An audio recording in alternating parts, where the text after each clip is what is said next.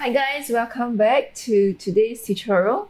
And this one is going to be a really, really fun one because you see, I'll show you how to create all these lovely snow effects for the trees in a winter landscape. So yeah, let's jump right into our materials. So for brushes, I'll be using two sizes of mop brush, a flat brush to paint the larger areas, a synthetic brush for details, and then of course we will need some salt. And this is the secret ingredient to creating all this lovely snow effect. And this one I'm just using a normal table salt. You can see that it's really fine. So these fine salts will help to create all these small white patches. And for colors, let me swatch it out for you. For here we have neutral tint. Feel free to use any brands that you like. So if you've been following along the previous tutorials, you've seen me using a lot of this color. And then we have a top turquoise here. So I'll be mixing greenish umber, which is a dark green. This is greenish umber and turquoise turquoise, sorry, turquoise, this one. So mixing turquoise with greenish umber, you will get a color like this. Let me swatch it out properly for you. This is greenish umber and this is turquoise. And then when you mix both, you get this evergreen color. Next, we have burnt umber, it's brown, and then here I'm using a tiny bit of brown pink, which is a dirty yellow. And then yellow ochre.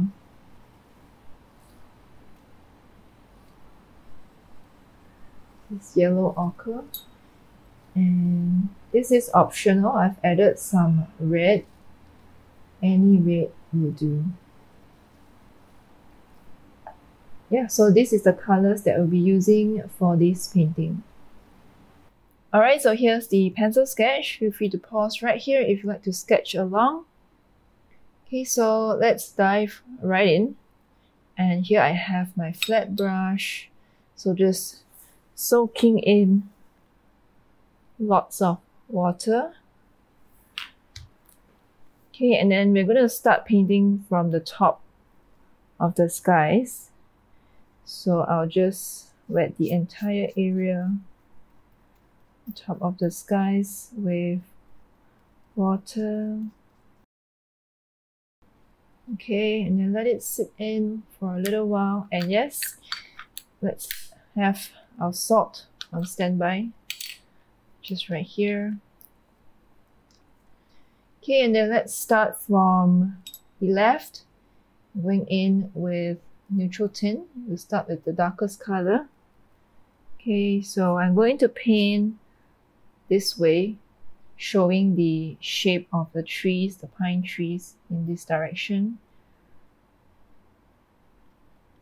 And if you feel that your paint is spreading out a lot, spreading out too much, that means that your mixture, your paints mixture is too watery.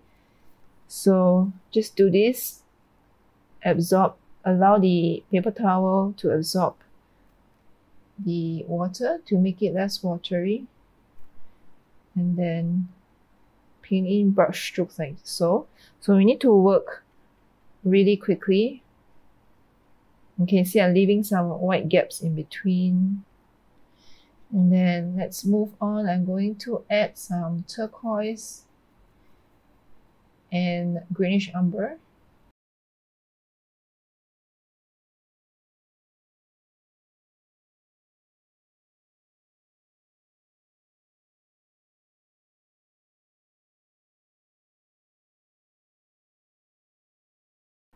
darken this a little more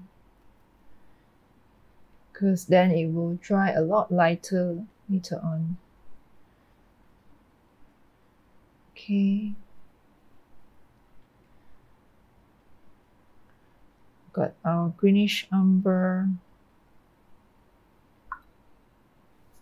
And then let's transition into our warmer colors. Before we do that, I'm going to take a little bit of snow and then apply around this area.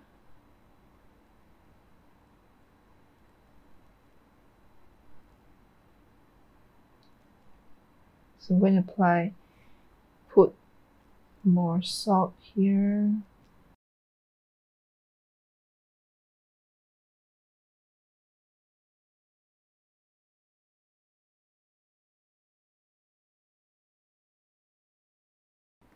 Okay, let me just blend this out. Now at this point, I'm just going to lift the paper up and have it flowing downwards.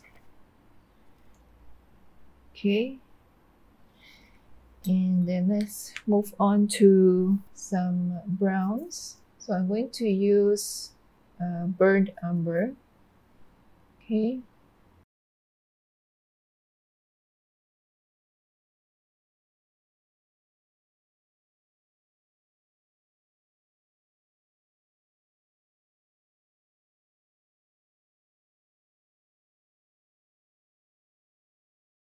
So I'm just going to blend the top bit a bit.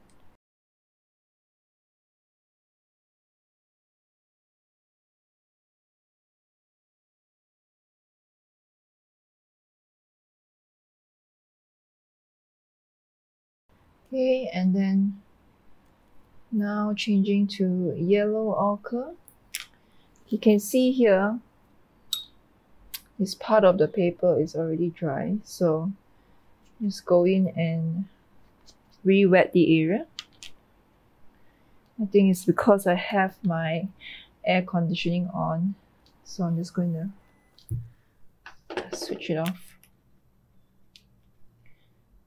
Okay.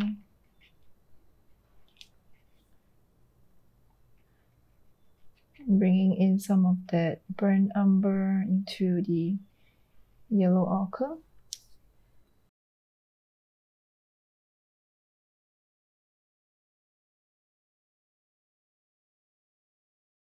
Okay, and to make it a little more, um, increase a bit more contrast, I'm going to add some darker brown around the bottom. Just like that.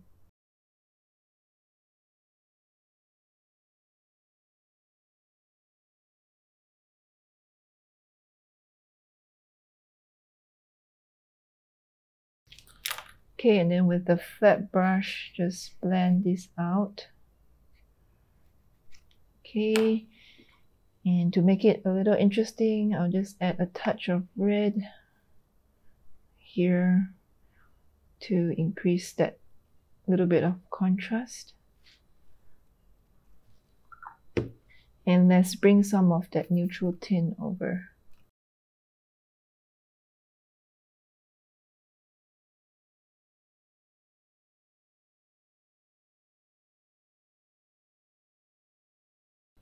Okay, and then here we put quite a bit of salt. I'm going to reduce the amount of salt towards the left.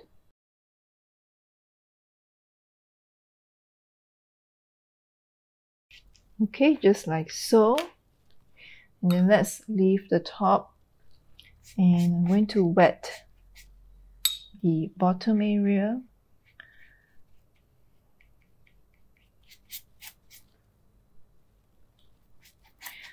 So I can see that I have to work really fast for this.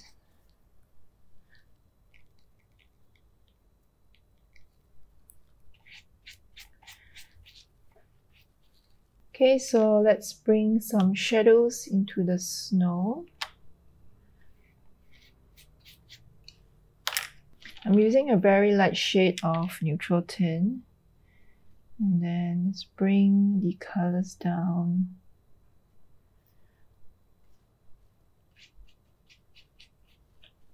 So we have more shadows here.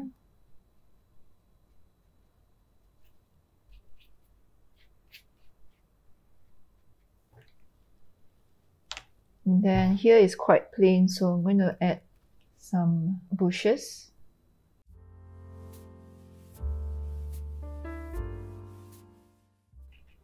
So here I have a very light shade of neutral tint and I've mixed some of that turquoise in as well to bring over the colors from this side.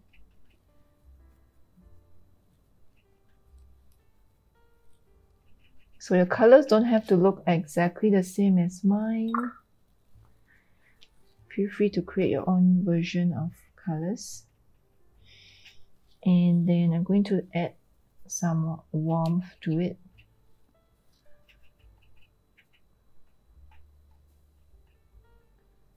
Okay. And then let's add some salt here, a tiny bit.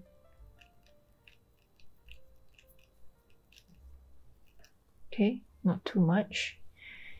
Okay, and then let's keep painting out these shadows.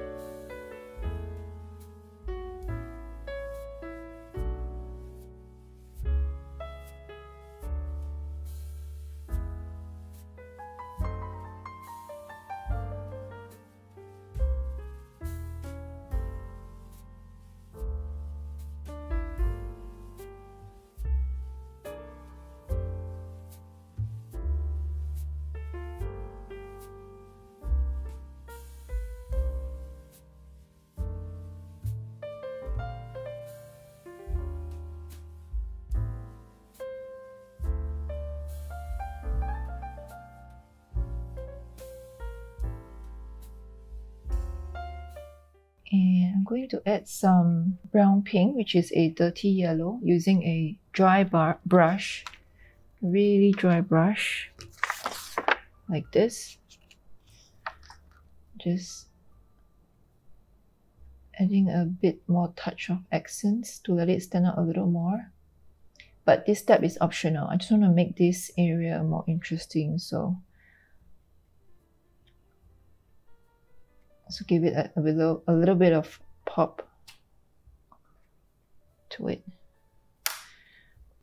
Okay and then now I'm going to remove this let it lie flat and just going to tilt it around to let the colors flow while it's still moist. You can see the salt effect turning out really nice. So once we've uh, once we've dropped in the salts try not to touch or disturb them anymore. And yeah let it do its own thing. So I think I'm done for the first layer. Let's leave this to dry and then we'll come back later.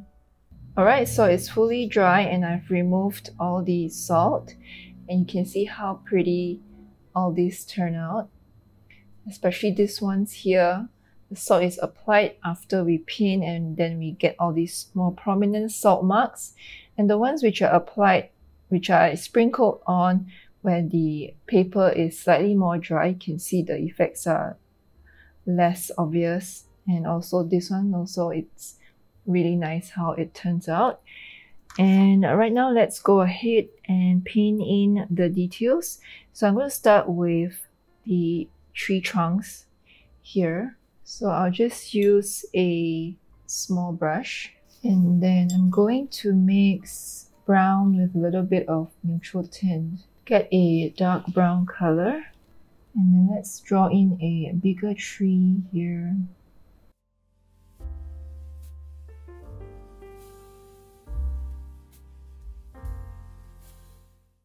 Okay, and then for the smaller branches, I'm going to use this liner brush then I'm painting this in broken lines, leaving some gap in between those white salt areas.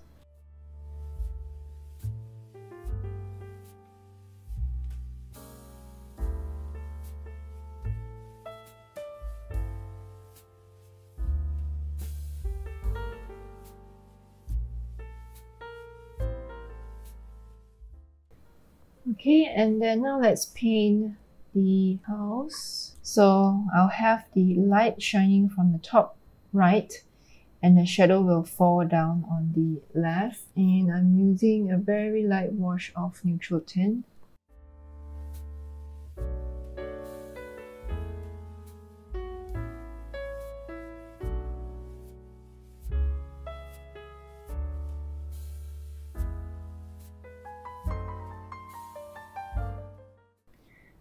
Let's pull the shadow down. But before I'm going to do that, let's just gently wet this area before we paint in the shadows. That will help to create soft, a very soft shadow with soft edges.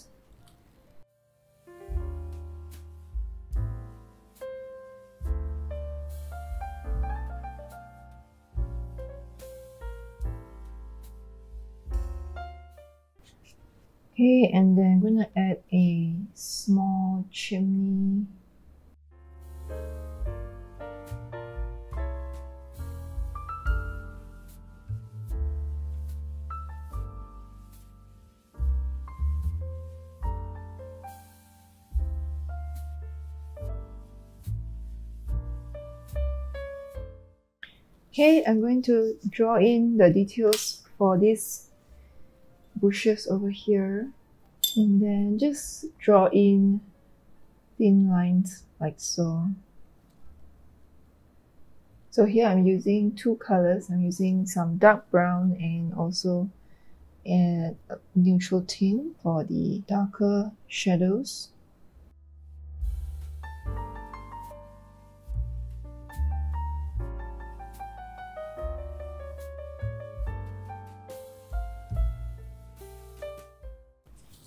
Okay, and then let's paint in more details here. I'm going to use a dark brown for this.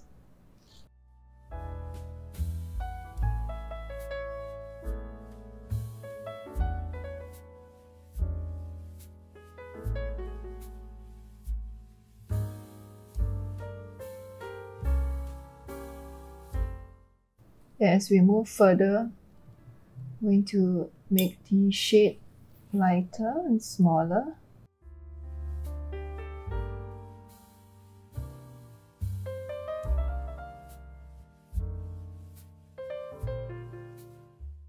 Okay, and then let's draw some strings.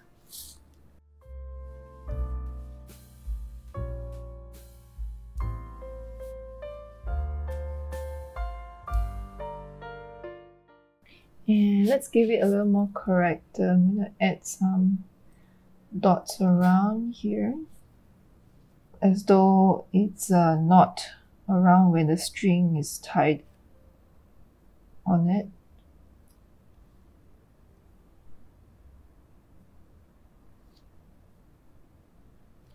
Alright, and then let's add some splatters.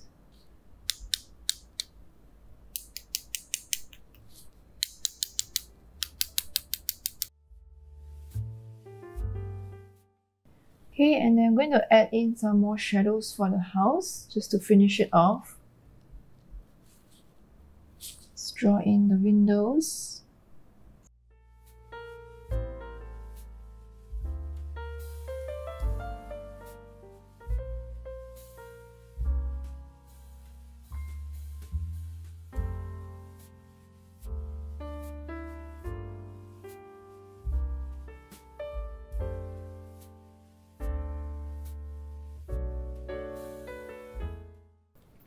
Okay, so I'll probably just leave this house white. If you like, feel free to paint brown in for a wooden cabin if you like. But I think I'm just gonna leave this house nice and white. Alright, so I've already peeled off the masking tape and giving you a close-up. Look how gorgeous all this turn out. It's like those kind of gave the effect like a snowflake.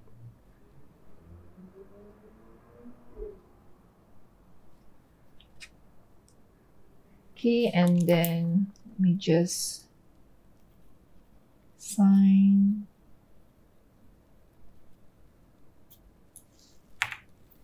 And that's the end for today's tutorial. So if you're going to give this a go, I recommend that you play around with the salt and then see how it turns out on your painting.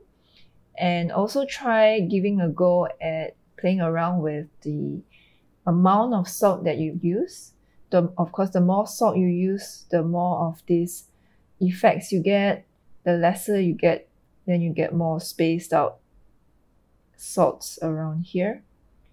For example, you could use lesser salt in the front and then maybe slightly more salt towards the background. So up to you, feel free to play around. And then the other thing to take note is also the time when you sprinkle in the salt.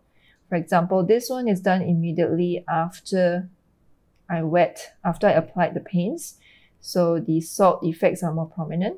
And then these ones are applied much later when the paints are close to drying, which is why you see them appearing not so much.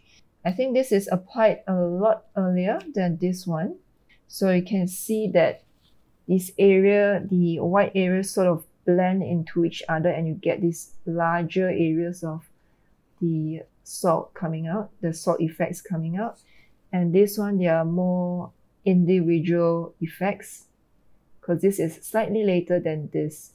So yeah, different timing and different quantity of salts give you different effects, different beautiful salt effects that can play around with the snow for these winter landscapes.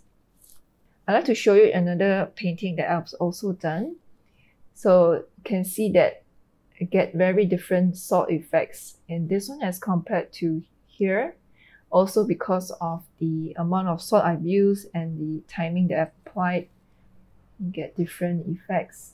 This one is slightly different. I've played or I've added more autumn colors. You can see a bit more red and orange, yellow, and then I like how this area here turned out as well. So yeah, very different um, snowy effects that you get from both. And here I'm using a wooden cabin as compared to here a simple white house. So yeah, just sharing with you some ideas that you can play around while painting this winter landscape. And if you haven't already done so, do check out the past weeks of Christmas Marathon tutorial. We've painted a few lovely winter landscapes. Do check it out. And yeah, that's all from me today. I hope that you've enjoyed this video. Happy painting and I'll see you in the next one.